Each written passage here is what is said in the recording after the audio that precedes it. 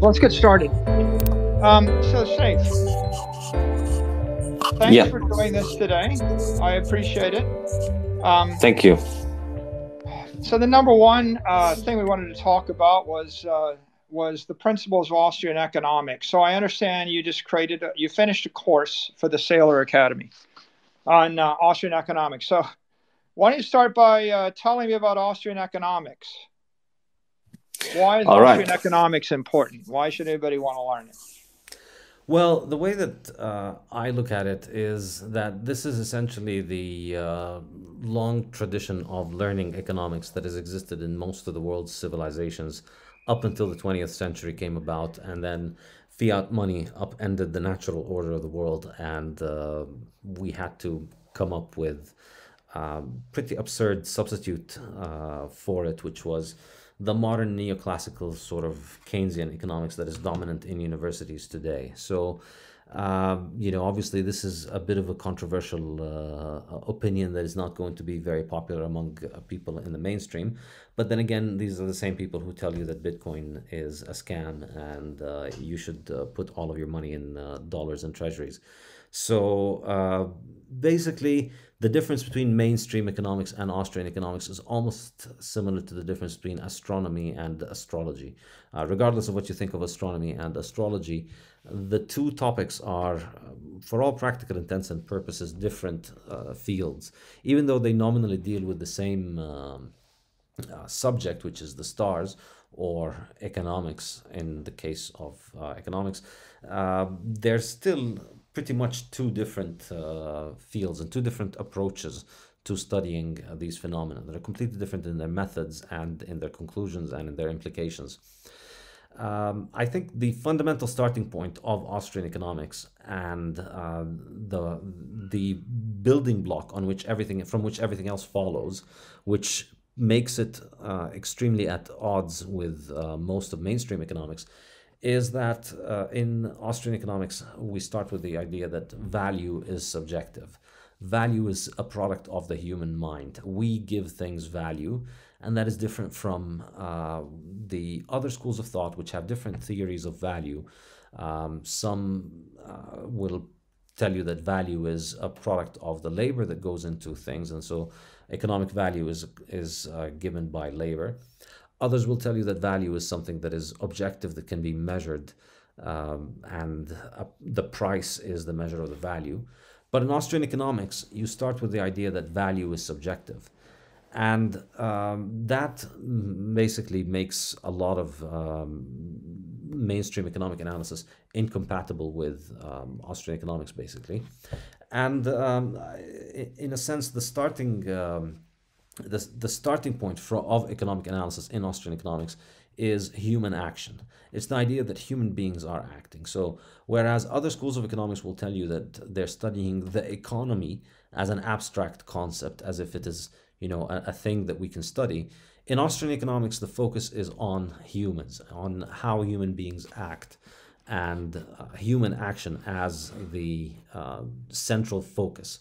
So we begin by thinking of value as being something that is subjective, and uh, that's the topic of the first lecture in the course.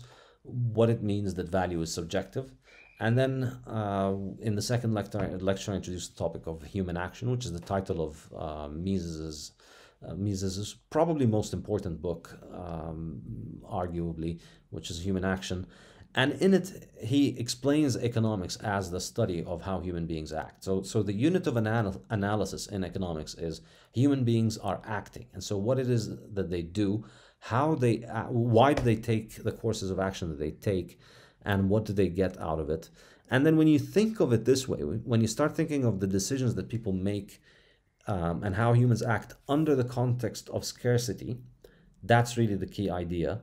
Then you come up with some uh, very important conclusions about how economics and economies work. That's basically um, the, the, the starting building block of economics. So all of the analysis and all of the conclusions follow from analyzing human beings' decision making under the context of scarcity and not analyzing economic aggregates and not analyzing numbers and not looking at causality and um, agency in metrics, and that's I think the uh, you you can already see the difference with uh, mainstream treatments of economics there. Okay, so I guess a couple of questions popped to mind. One is, how old is Austrian economics? Like, how long has the has the subject existed? You know, as a body of knowledge. Arguably, it's uh, 150 years now. Uh, you could you generally um, hear Carl Menger is the father of the Austrian school, and he wrote a book called Principles of Economics in 1870 or 1871. I'm not sure. Um, so it's the, the school really came into prominence in the 19th uh, century under the gold standard in Austria uh, at a time when uh, Vienna and Austria were uh, some of the uh, world's uh, most important centers of education and culture.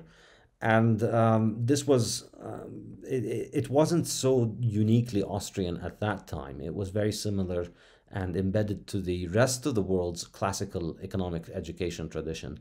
It wasn't very different from economics in Germany and um, England and Sweden and other European countries.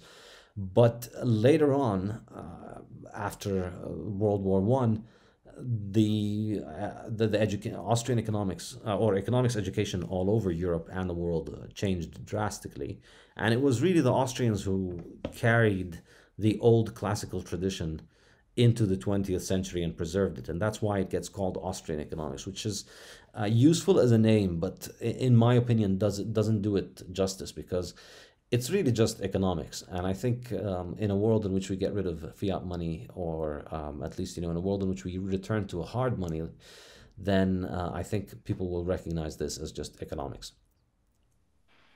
Yeah. So um, I, when I I think about this, you know, first economic value being subjective, and then human action, it just makes me think. Austrian economics is is creating um, a nonlinear dynamic feedback model of behavior. Like how, how will humans behave, you know, based upon their value judgments? And you'll have, you'll have first order feedback loops and second order feedback loops and third order effects. So it's like it's a dynamic model of economics based upon human action and reaction. And that just makes me think it feels like capitalism, or it feels it's somewhere between capitalism where you have competition and reaction and increasing difficulty, right? I do work, difficulty increases, the markets evolve. Or maybe it's um, another metaphor is Darwinian.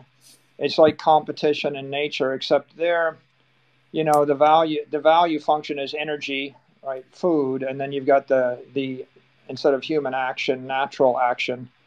How will how will uh, ecosystems evolve?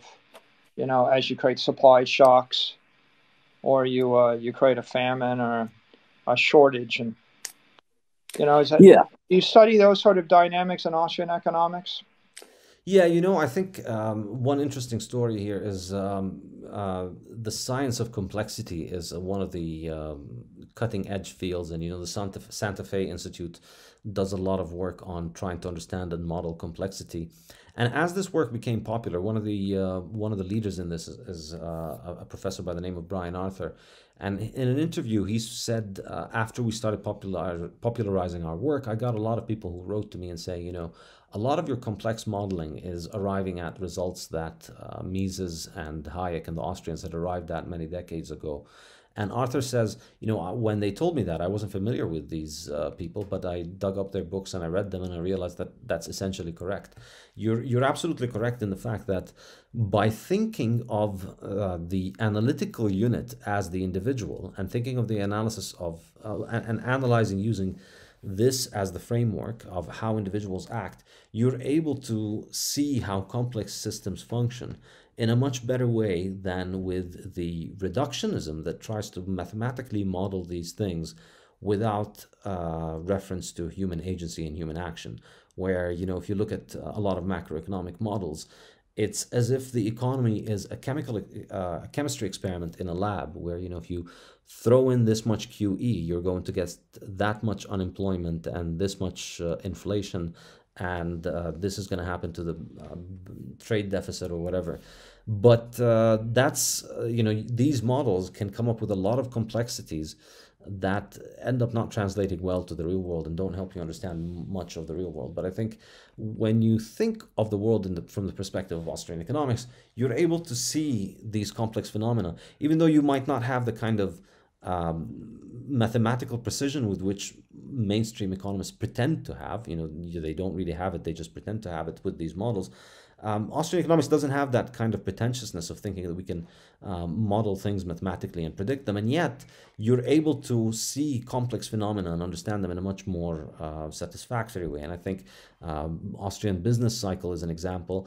Capital is another example. The concept of capital is something that just doesn't feature in mainstream economics prominently at all.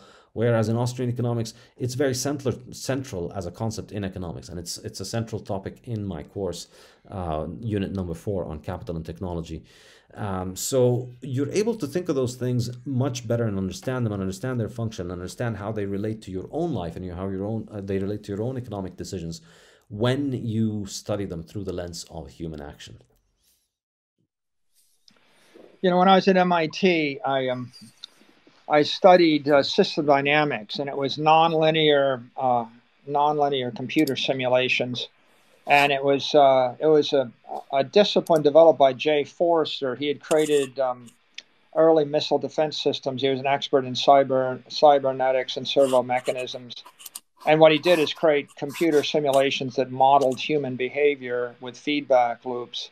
And uh, he's very famous for for um, uh, work on urban dynamics and, and world dynamics. And and ultimately what they were they were doing is they were creating nonlinear models of human behavior. So so all of the predictive models that worked were nonlinear and they required uh, human action and reaction.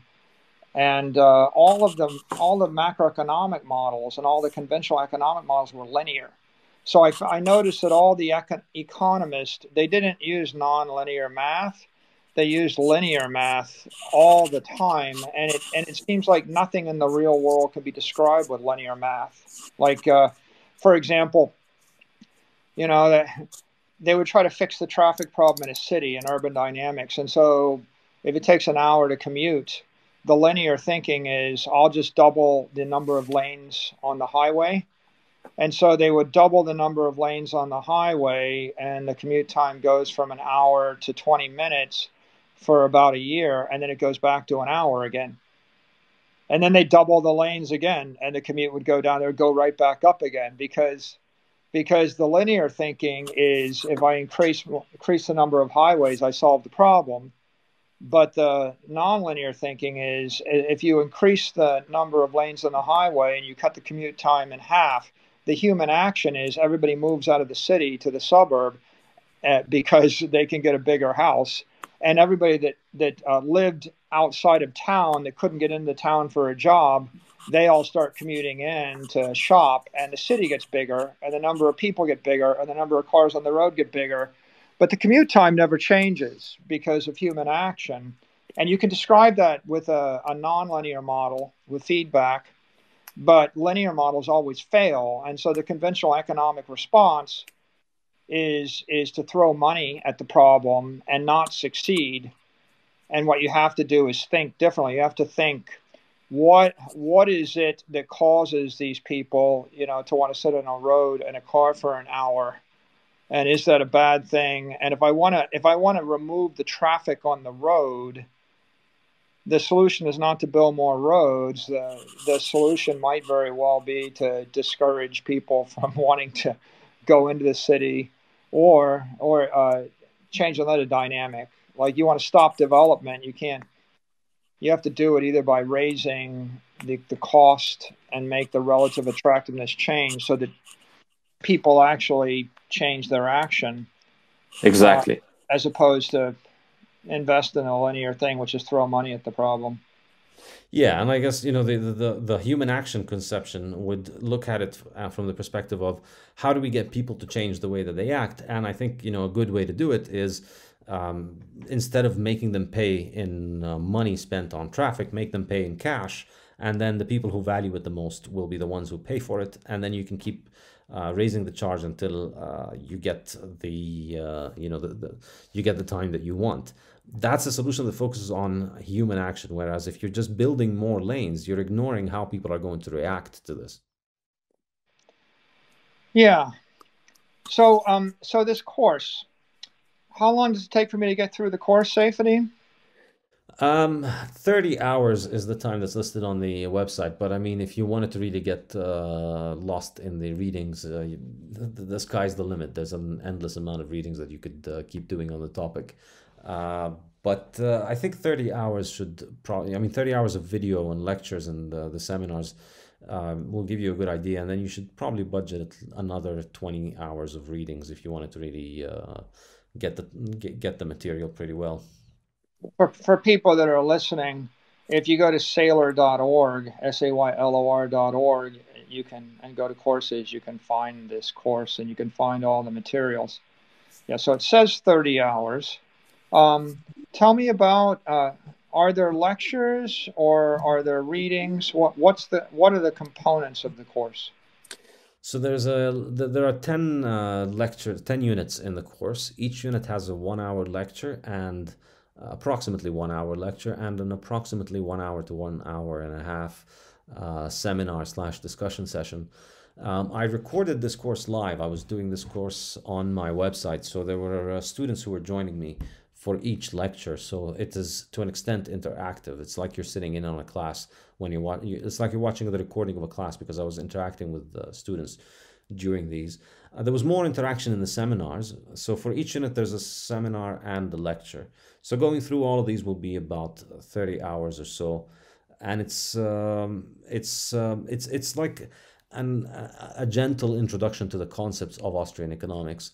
Uh, there are a lot of readings that are described, but I'd like to think of this as like the uh, introduction to those readings. So you begin with, uh, I mean, part of the reason that I that motivated me to do this course, to build this course, was that if you wanted to learn Austrian economics, you generally had to do it for, by reading the books of uh, people like Murray Rothbard and uh, Ludwig von Mises, who, yes, it's it's not very easy for most people to um, enjoy them. Although you know, I I'm one of the nerds who does, but it can be a little bit dry. And you know, uh, Mises in particular and Hayek, you know, they wrote in English, but they thought in German. So for English speakers, it can take a little bit of getting used to uh, to to read essentially German speakers writing in English. But uh, and they were pretty wordy, and I think the uh, perhaps the main drawback is that at their time they were complete outcasts. And so, in order to try and establish relevance for their writing, they had to spend a lot of time dealing with mainstream ideas. And so, a lot of their writing is you know, you're reading a book, you're trying to learn about uh, capital or prices or something like that, and it's just page after page of uh, Mises or Rothbard very meticulously uh, going through some um, socialist economists' arguments and uh, uh, refuting them one by one. And you know, most of these people are, forgotten today. So the Austrians survive because their work remains relevant, but most of these other economists are forgotten and nobody reads their work. So there's not much uh, entertainment or education value in reading the refutations of uh, very bad old ideas. Uh, so I tried to skip over all of that and present the main concepts in uh, in videos and brief notes. And then based on this, of course, I've built, uh, I've been writing my textbook, Principles of Economics, which I'm uh, publishing at the beginning of next year. It's, uh, it's uh, more than, it's about 70% done now. So based on this course, I've kind of uh, used it as the foundation to make a new textbook in Austrian economics, Principles of Economics. Okay. So um, I think I just added somebody from Saylor Academy. Who's on the line now? Okay, Jeff, welcome. So we have Jeff Davidson. Jeff's the director of the Saylor Academy. Okay, Jeff, hold a second. We got some questions for you when I when I get done grilling Saifedean. Hey, Saif, I'm I'm on Unit Seven, prices and market order, mm-hmm. on the website. So I see the market system lecture. I'm excited about that, and I drilled into it, and and it looks like it's a it's a one hour lecture. Is this posted on YouTube? And we just uh, we plugged it in. How did we host this lecture? Uh, no, it wasn't on YouTube. It was on my uh, on my own uh, website where uh, this was uh, being taught. But now it's offered on your website. It's been uploaded to Saylor.org. So it's it's a lecture for an hour, and you've got the outline of it. And then I see 7.2 is a discussion, and that's a that's another video. So tell me about the market system discussion. Yeah, so um, the way that this course begins is first of all, I describe the uh, main foundational concepts of what makes economics and uh, the main ideas in economics. So, um, labor, property, capital, technology, trade, money, indirect exchange. I, I, I, develop what these things are, and then when all of these things are uh, developed from units one to six, you know, I introduce those concepts and discuss what they mean in economic terms, in terms of human action.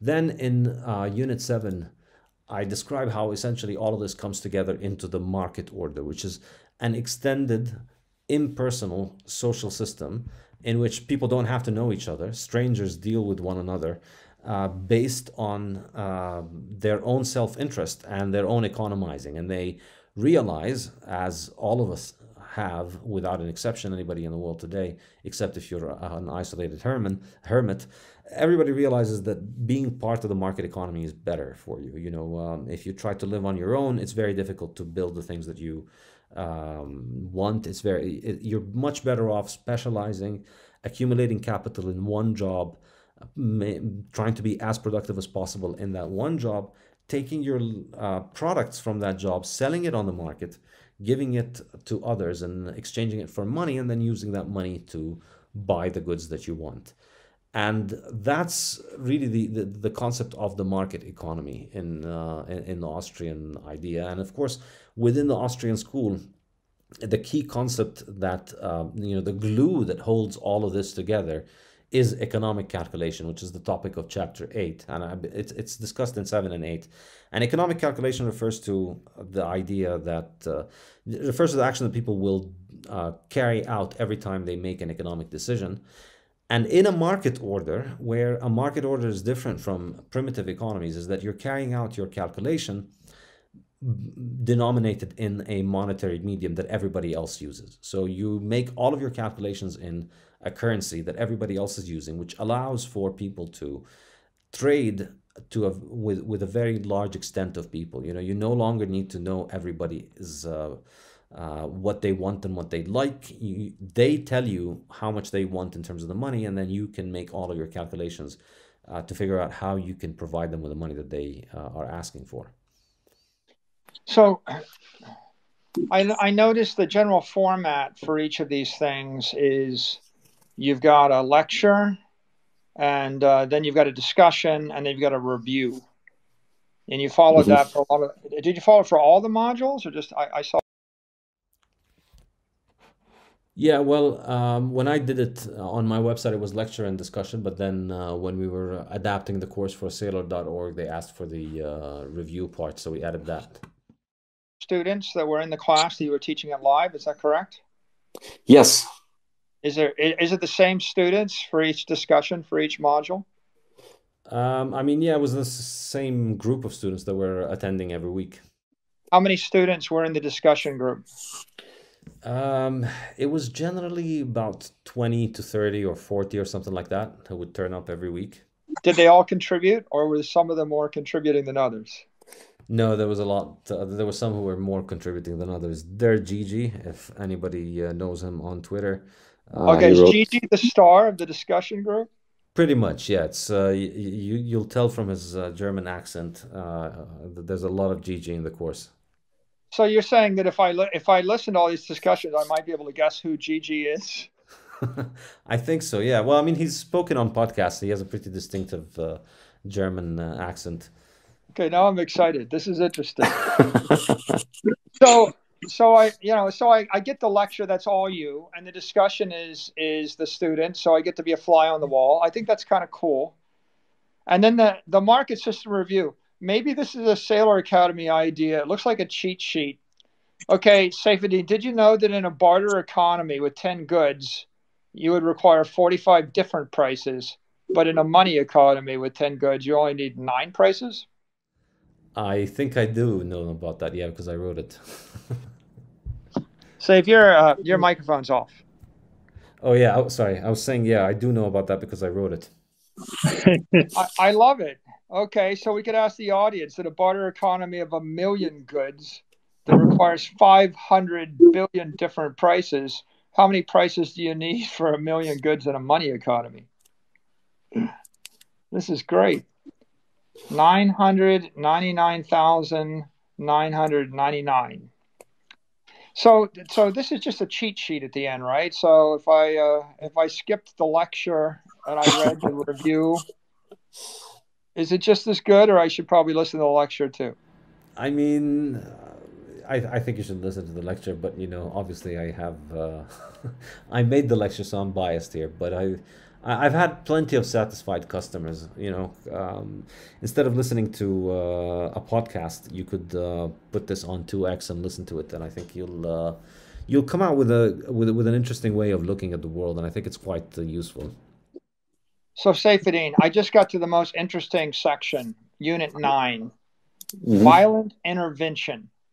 Yeah. Uh, so tell me about violent intervention in Austrian economics. This got my attention.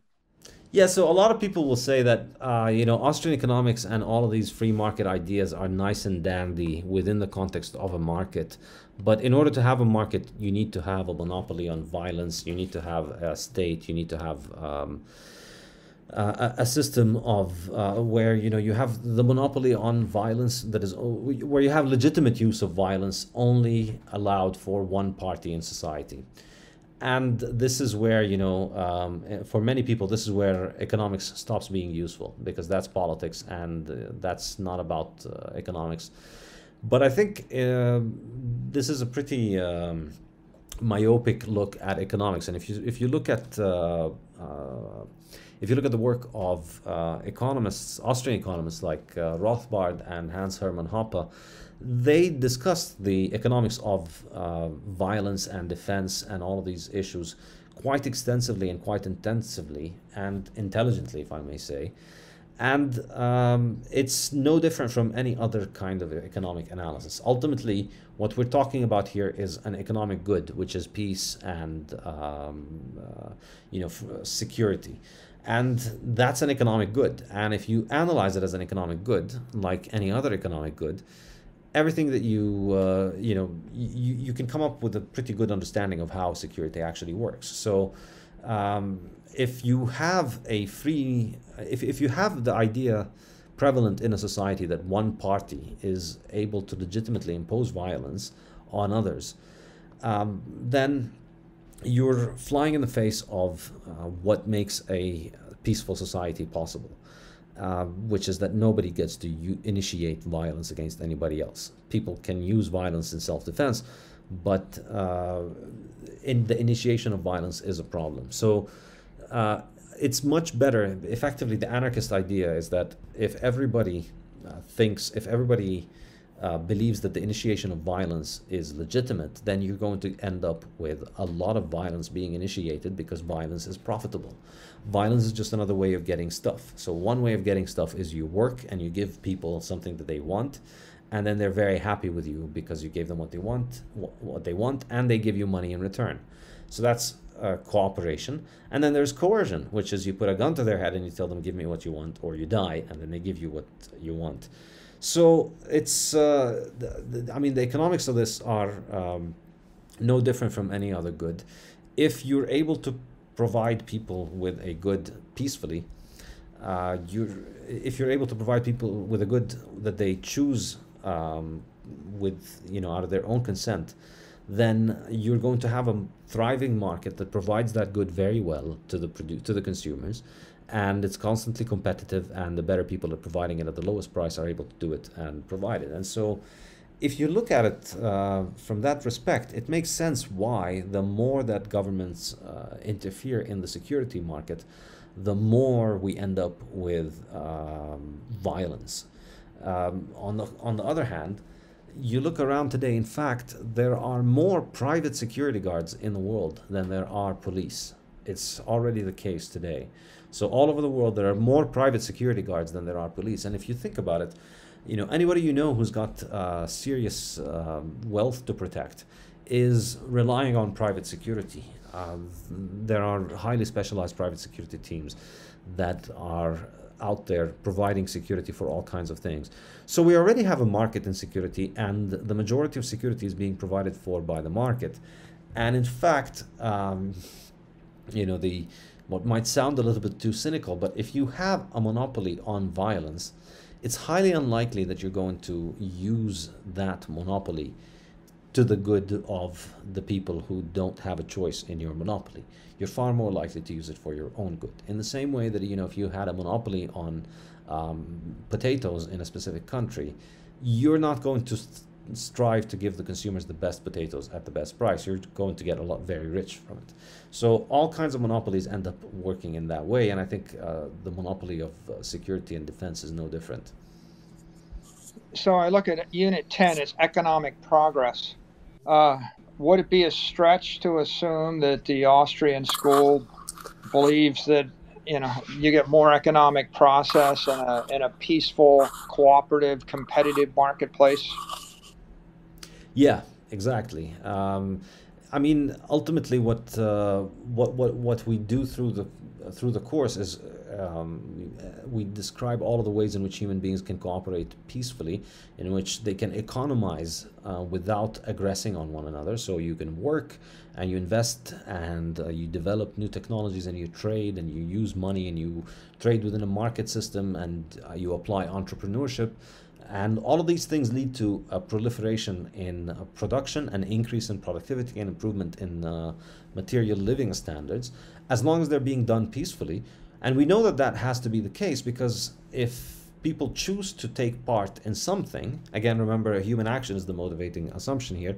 If somebody chooses to get out of their bed in the morning to take part in, uh, in, in some form of work or in order to trade, then they clearly see a benefit from it. They're clearly benefiting from it. Otherwise, they wouldn't get out of their bed. So everything that happens when people are being, um, uh, everything that happens out of people's own free will, everything that happens out of their own uh, volition, has to be uh, for their own good because they wouldn't have chosen it otherwise, or you know they learn they they learn their lesson very quickly, um, and, and change the way that they act. And then, of course, there's the other force, which is um, what happens from violence, which is destruction, which is um, the threat of force, the threat of the use of force, and that is likely to stall people's ability to economize and provide for themselves. And that's why, I mean, it's uh, it, it might seem, um, uh, you know, within most mainstream economists, there's a focus on GDP, which uh, misses the point and tries to quantify the quantify something that is unquantifiable, which is human valuation.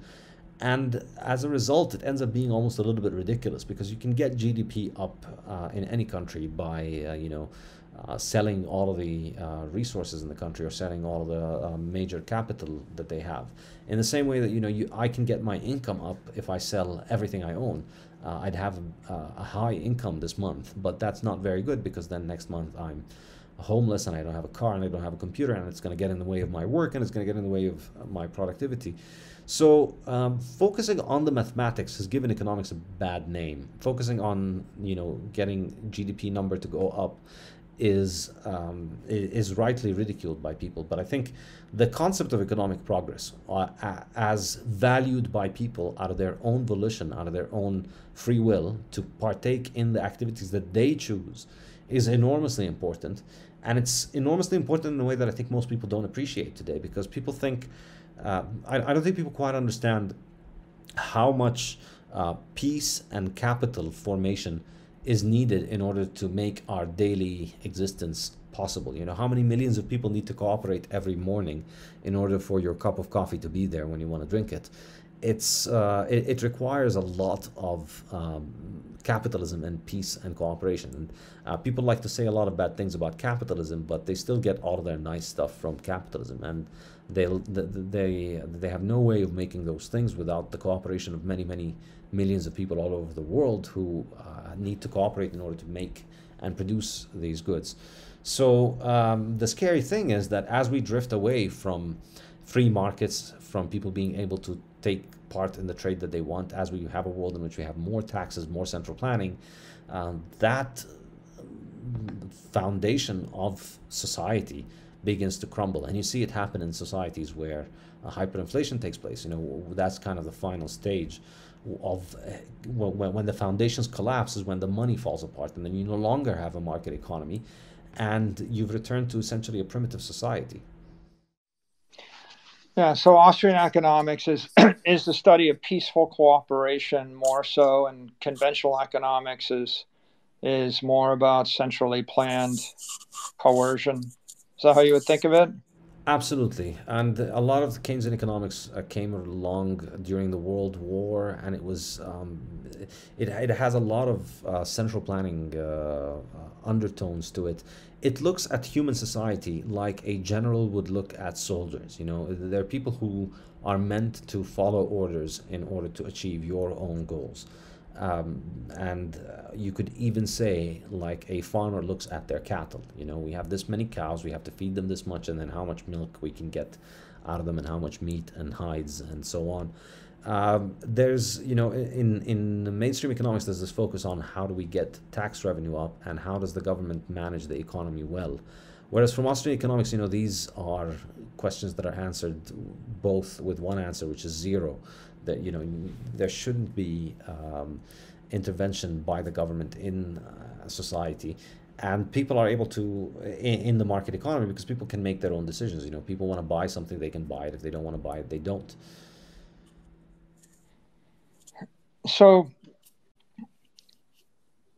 how uh, what are the prerequisites to take the course Saifedean? So, like, um, what, what basically, kind of background do I need to get value from this if I'm going to go through the 30 hours? Um, in my mind, uh, a, reading comprehension, the ability to read long sentences and uh, sit through uh, college freshman level. Yeah, I think it's I, I think it's it's it's definitely uh, easy enough for a college freshman, but I think also um, it'll be useful for somebody who's gotten higher degrees as well. Okay. Is there a test? There is a test at the end, yes. Oh, is this one test? There's one final examination? Yep. Is it hard? Can I pass it? Is it easy? How how hard is it?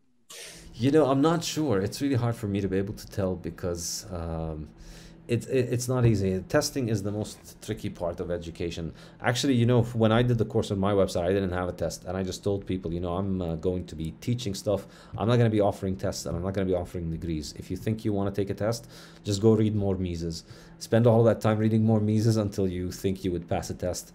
And uh, I'm, I'm just not very good at testing, and I don't think it's. Uh, it's something that is very easy to do. Uh, but uh, for Saylor.org, we did it. That we had to do that for the course. So I guess the next question is, who should take this course? I'm, I'm talking big. Like there's eight billion people on the planet. So reduce it for me. Tell me who should take this course and who doesn't need this course. I think people who don't need this course are people who don't expect to be making decisions in their life, and people who don't care about their future, and people who don't want to uh, conduct any economic activities. So that pretty much leaves eight billion people that I think. Uh, you think any any business person or any any wage earner? Yeah, I think I, I think it's useful for everybody because to be honest, a lot of these concepts, they're very important and foundational in how we think about the world and how we think about economic activity. But very few people spend time to actually think about, you know, what do we actually mean by capitalism? What is capital? What is a market economy? There are a lot of pop definitions and a lot of, um, I would say, wrong definitions that you get from taking a, an economics course in university. But this is pretty different and it's uh, very useful because you'll uh, understand them from the context of uh, human action. So you'll see how they're relevant for your life. You'll understand what is the distinction between capital goods and consumer goods, and it'll help you think about goods. And you'll think about time preference as well, which I think is uh, very important for everybody to learn about. So, Saif. Let's assume that uh, that we agree it's a good course, and I have children. When should mm-hmm. I put my children through this course? What age? Well, um, my five year old already knows about time preference, and uh, basically every time I uh, want to tell her to not do something, I just tell her it's high time preference, and she immediately realizes, oh no, we can't be high time preference. So it's never too early to get them on the bandwagon. But realistically, I'm guessing 15 is probably. Uh, uh, an, uh, could you could you take this in high school? Yeah, I think so. Should we teach this in high schools? I definitely will be teaching it to my kids um, by high school age for sure. I think it's. Uh, I think these things are extremely important. Like uh, when I learned about time preference, it really changed my life. Once I understood that everything I'm doing in life is a trade-off between my present and the future, and once you um, are hit with the realization that everything you're going through today is essentially the consequence of the high time preference decisions that you took in the past or the low time preference decisions that you took in the past. It really changes the way you act. Like you yeah, can't you're just... trading with your future self.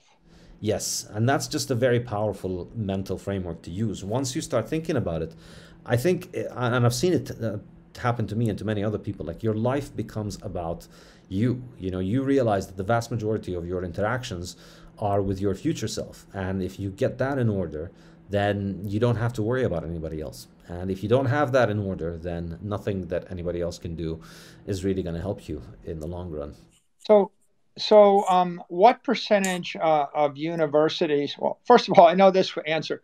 How many high schools in the world have an Austrian economics course? Ooh, uh, I don't know. Um, I don't know of any. I don't uh, zero point zero something. So, so this most. is a pretty revolutionary thing at the high school level, right? There's, I, I'm sure that I wasn't given any economics, and certainly not Austrian economics in high school. What percentage of colleges offer Austrian economics? Less than one percent, for sure. Okay, so what we have is less than 1% of, well, 0% of high schools, 1% of colleges offer Austrian economics. So it's pretty revolutionary just to have the option today. and Absolutely, I, I think so. The question of digital education, right? Can you, can you yeah. talk about that for a second? Right, because we're doing this via digital education, which is going to change the cost, but also the availability of education. Saif, what is your opinion of digital education, and and and why were you attracted to build this course and upload it?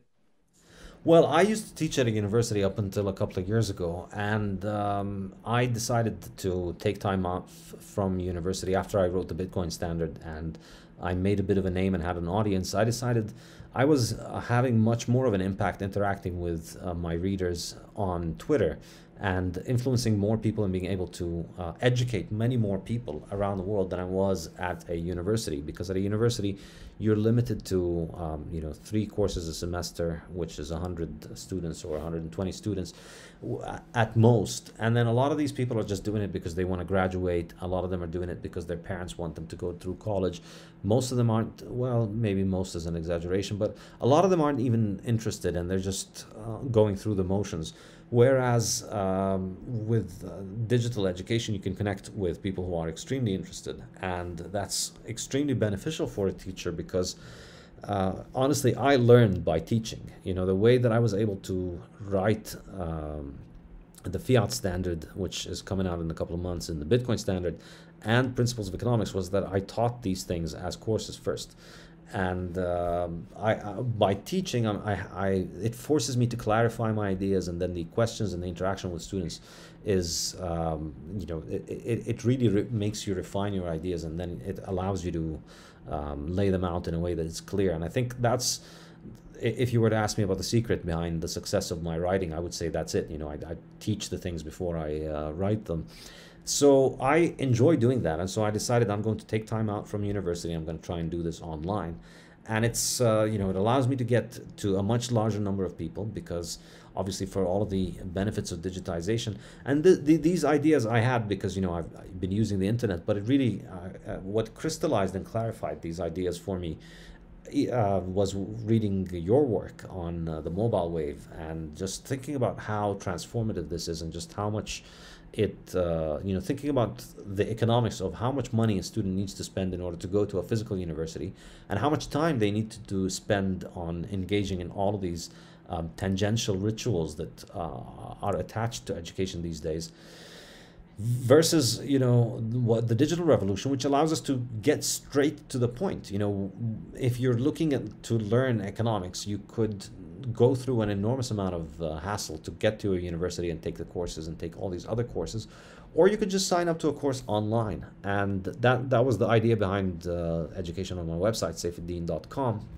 I started that uh, two years ago, roughly two and a half years ago, and it's gone really well. And I and, and also uh, obviously you know your work on Saylor.org is absolutely amazing.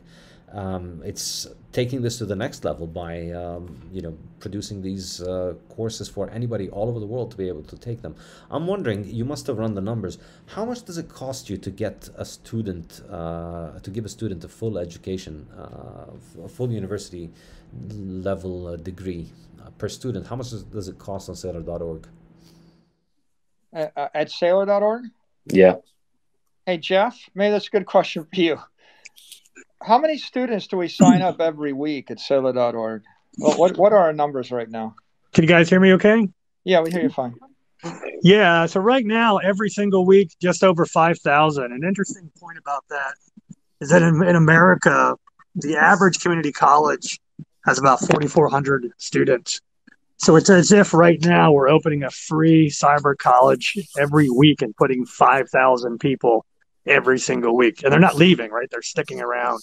Um, so that's really exciting. Um, and as Michael likes to say, once now that we've got the infrastructure up, you know, the cost of adding another student is is you know near zero, right? Uh, now that everything's up um, and running, and so it, it's it's a it's a you know we can really we can scale as much as the world wants. I mean, it's effectively free safety yeah, I, I, think there's, I mean, there's there's a couple of powerful ideas, right? The most powerful ideas of the 21st century are the digital transformation, digital transformation of music, digital transformation of books, digital transformation of maps, digital transformation of education.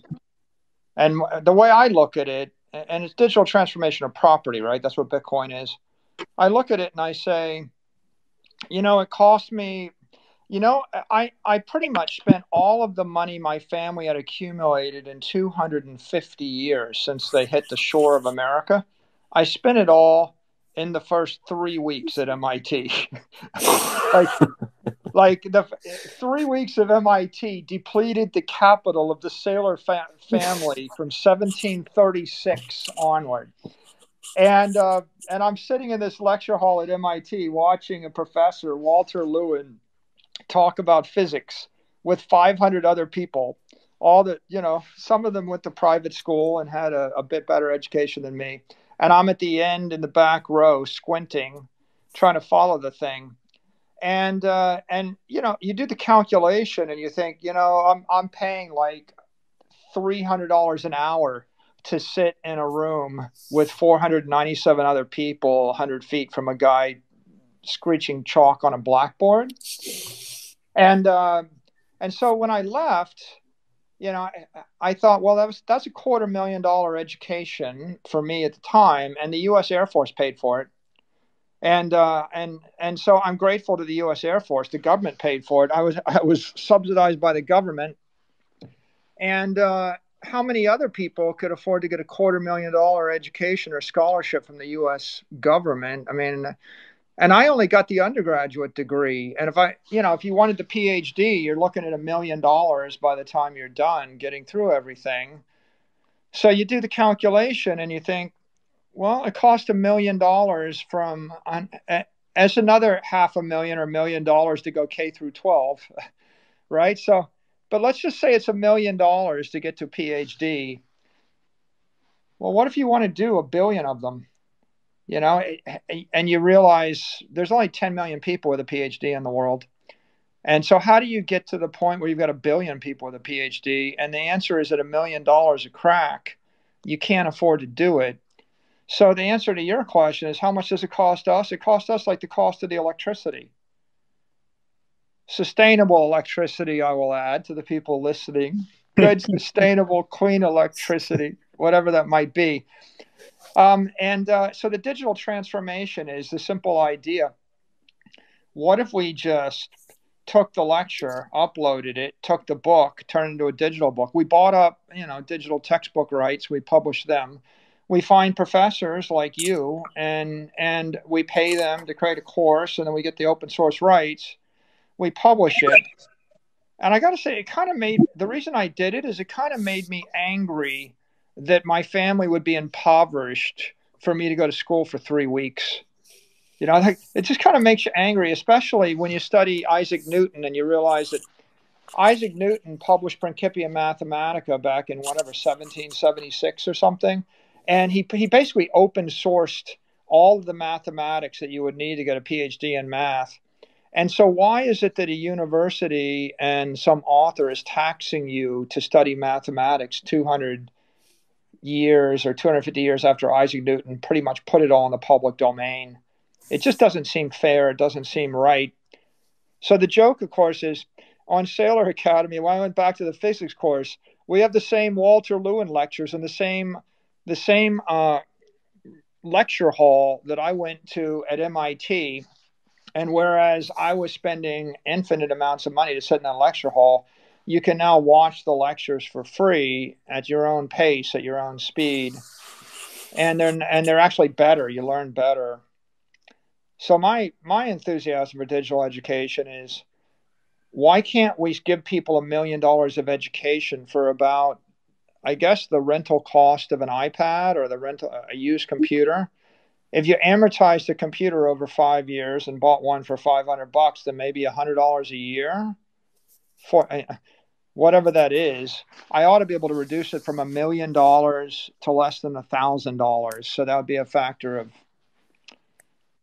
what, a factor of a thousand. Yeah, factor yeah. of a thousand decrease, and and the goal is not just to make it a thousand times cheaper, right?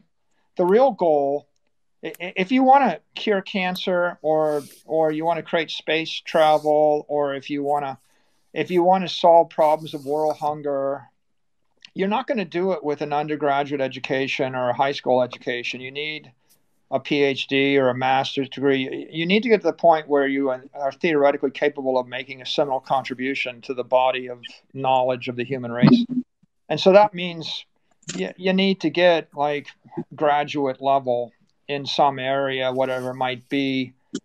And we can't we can't afford to do it now. Like I guess 90 95% of people can't afford to get the degree that they want and the society can only afford to create 1 to 5% as many degrees or uh, and degree is like an old 20th century concept which is like 1 to 5% as many educated individuals as it needs so we've got a problem of of quantity as well as cost. And if you if you have linear thinking, the linear thinking is let's just let's just give everybody a million dollars to get free education using bricks and mortar, right? That linear thinking bankrupts the entire country. The nonlinear thinking is why don't we just dematerialize all the lectures and upload them and make them available for free and do a thousand times as much educating for a thousand times less money and let it spread to everybody on earth. That that's why I'm enthusiastic about this thing. Yeah, me too. That's why I'm delighted to be joining you on this. I think uh, the, uh, people just underestimate the potential for it. I think universities have so much waste because ultimately uh, they've been separated from market discipline, which is something that I get to in the next course, which is coming to Saylor.org um, in, a, in a couple of months, which is Economics uh, 2, Principles of Economics 2, the, the course that follows this one. Um, and I also get into it in my next book, The Fiat Standard. In, in um, you know, when you when you have money essentially provided by government, which is the case in education, it distorts people's ability to think about opportunity cost. And that's why education can just become so expensive because you've got government subsidizing the credit and government subsidizing the university's research. So there's an enormous amount of money there and not a lot of incentive to be uh, economical about it. I remember a few years ago, I used to always say, you know, where's the uh, Steve Jobs of education? Why aren't universities coming up with something um, innovative, groundbreaking, coming uh, really improving the university experience massively. And at that time, I hadn't heard about Saylor.org, but now I know that uh, the the Steve Jobs of education is Michael Saylor. I, I I don't know. Probably Khan Academy is like the big winner there. Hey, Can I jump in for a second? Yeah, Jeff, yes. how many students do we have total so far on Saylor Academy? What's our number? So we are fast. We're the other day when I looked, it was nine hundred and seventy-seven thousand. So if we keep our current, I assume we'll get a little bump today. Uh, but uh, when we do should, we hit a million? I want to have a million. It, it's going to be right around. It's going to be right around Labor Day. Wow. At latest, maybe sooner, but at latest. So, so Jeff, what are your thoughts on this? Tell us about you know what you think about digital education and and the future. Yeah, a couple things. Um, one, I've been I've been here ten years now working for you, Michael. So thank you for that. Uh, so I've seen I've seen a lot in the ten years. When I first got to Saylor Academy, I was a business undergrad and I have a law degree from the traditional system. And I got on and I looked at the business courses first because I knew that. And I and I, I remember saying out loud in the office, like, "Wait a minute, why isn't this worth college credit?" Uh, and everyone's like, yeah, we, you know, think they're pretty good. And I, you know, we, we hire professors from around the world, like Saifedean and, and Michael with the great support, bringing experts like Saif and others uh, to the site. And so we have professors from, you know, Harvard and community colleges and everywhere in between coming together, curating resources, creating resources. Um, and so over the 10 years, you see now the gradual and now accelerating acceptance of online education. And now I think what universities are starting to catch on to, but some are going to miss it, is now the the speed at which um, non-traditional credentials, um, certificates from places like us and others are going to impact. We have people in Rwanda getting jobs with Saylor Academy certificates. Uh, that's really profound. Uh, what, people, what, what, countries do we have students in? Tell me about our student enrollment. We, we, we have 230 plus. We actually, I'm pretty sure we have a student in every country except the three the the state government, uh, the United States will not let us reach. But other than that, I think pretty sure we cover everybody. That's 200. So it's it's it's a bigger number than it's because territories. It's like 236, two two something. How are we doing Way in Africa? There.